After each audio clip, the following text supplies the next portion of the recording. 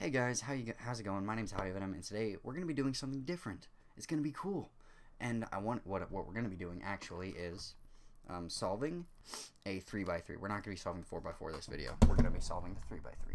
And so let's go ahead and move this out of the way. Put that one there, and bam. Sorry, we gotta. There we go. All right, so here we go. I got a Rubik's cube here. We're gonna solve it because um, for a really long time, I used to be able to solve this in under like 20 seconds or something. I'm sorry, this probably sounds terrible, and I apologize. But um, this is going to be a short video because I just, um, unfortunately, I am really tired, and I have to... This is the only thing I can think of that I can actually do that might be a little bit interesting. And so, uh, it's going to be fun. But I wanted to kind of explain at the same time as I'm solving this, but I also want to do something pretty cool. Like, uh, um, I'm not going to look at it as much as possible. Like, I'm going to um, look at it as little as possible. okay, but here we go. Um, so what I'm seeing, I got a red right there, a green there, that's already in place. Um, blue and orange. Okay, so let's go ahead and put the red in place, then the blue, and the orange at the same time. So there we go, we got the white cross. Okay, what next? Um, corners. I'm putting the corners into place. The red, the green and red corner is now in place. And now we're going to put in the orange and green corner because that seems like the logical next step. It was the next one I found. Now we're going to put in the orange and blue corner. Right there. Orange and blue. And now finally we're going to put in the red and blue because it is the final uh, corner. And now the white side is solved. And I know there are easier ways to do that, that, that you can solve it quicker, but I just prefer doing it that way because it seems easier.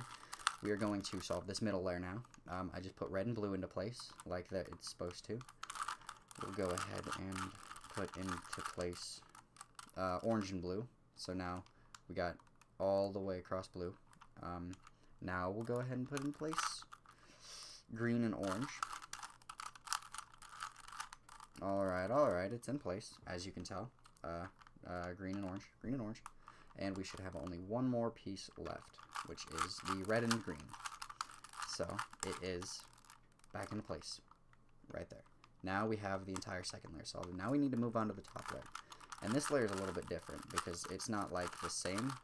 Um, or, well, obviously. Um, you gotta, you just keep uh, doing really similar moves until you get what you want, and then you do the move one more time, and then you do that. right there, basically. And um, you, since we have this, we're going to put this on the back, and a really long combination. Bam. Oh, and it's solved.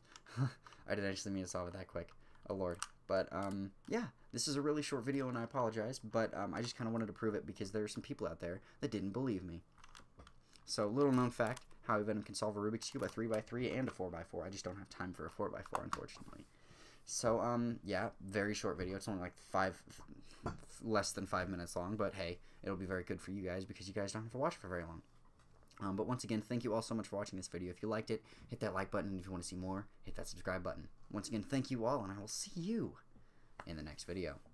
Bye.